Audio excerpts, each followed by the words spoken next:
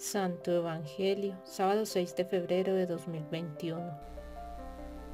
Lectura del Santo Evangelio según San Marcos.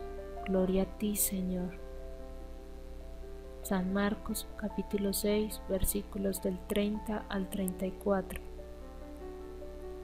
Se reunieron de nuevo los apóstoles con Jesús y le contaron lo que habían hecho y enseñado. Él les dijo, Venid conmigo a un lugar retirado y tranquilo, y descansad un poco, porque eran tantos los que iban y venían que no tenían tiempo ni para comer.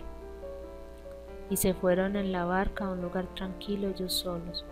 Al ver que se iban, muchos se dieron cuenta, y de todos los poblados corrieron allá a pie y se les adelantaron. Jesús, al desembarcar y ver tanta gente, se compadeció de ellos porque eran como ovejas sin pastor y se puso a enseñarles muchas cosas.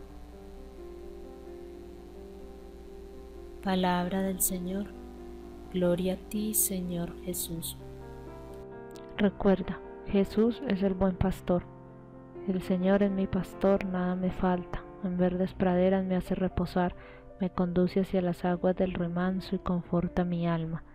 Salmo 23.